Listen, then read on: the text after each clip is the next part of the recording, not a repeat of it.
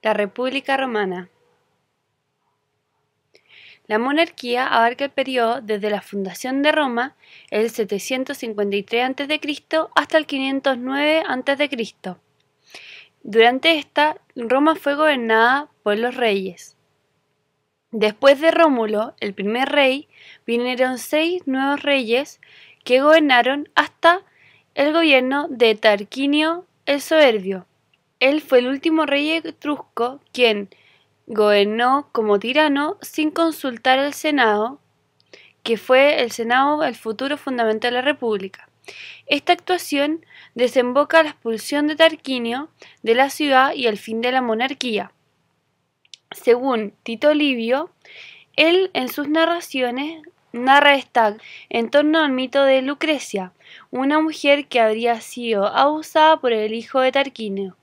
A partir de este enfrentamiento es que Tarquinio es sacado del poder y termina el tiempo monárquico dentro de, la, de, Roma. La República, por su parte, va desde el año 509 a.C. hasta el 27 a.C. Es la época en que los cónsules y el Senado representan el poder político del eh, republicano. En ella todos los ciudadanos estarían unidos por un mismo derecho. Originalmente, la ciudad se organizó en dos grupos sociales, los patricios y los plebeyos. Los patricios eran miembros aristocráticos que asumieron el gobierno de Roma y cuyas familias contaban con un antepasado ilustre, el pater, y los plebeyos, por su parte, eran un amplio grupo constituido por artesanos, campesinos o comerciales. En los inicios de la República habrá cierto enfrentamiento por quienes gobernarán y quienes eh, tendrán mayor presencia dentro de las instituciones republicanas. Lo que destaca en las magistraturas de la República respecto a la monarquía es el cambio importante al conformar la figura del cónsul. Esto venía a reemplazar eh, a los reyes. Dos cónsules eran elegidos anualmente por la Asamblea Popular y duraban solo un año en su cargo. Ellos debían rendir cuenta de su acción al término de su periodo. Cada uno podía vetar y anular las resoluciones del otro y así evitaba los abusos del poder y la posibilidad de convertirse en tiranos como había sido Tarquino. Por otra parte estaba la figura del pretor. Los, eran, los pretores eran jueces que estaban a cargo de la administración de la justicia de la, ciudad.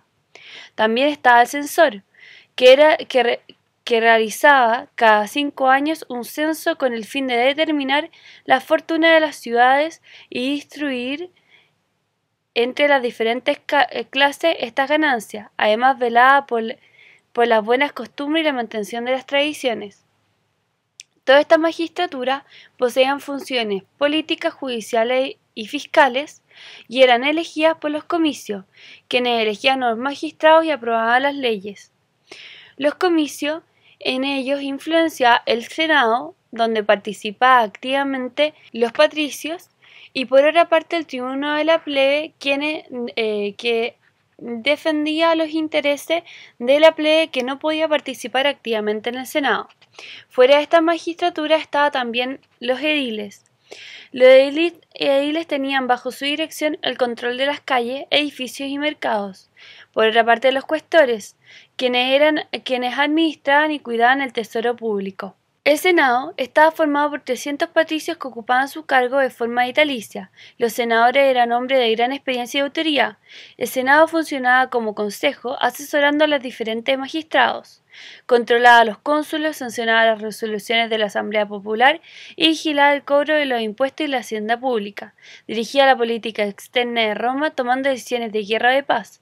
En la, en la práctica, los senado consultos o determinaciones del Senado eran obedecidos como leyes. Por otra parte estaba la figura del dictador que concentraba todo el poder en sus manos, pero solo durante seis meses en caso extraordinario. Eh, él vendría a reemplazar la figura de los cónsules. La República Romana se decía que era muy armónica, pues estaba conformada por tres formas de gobierno.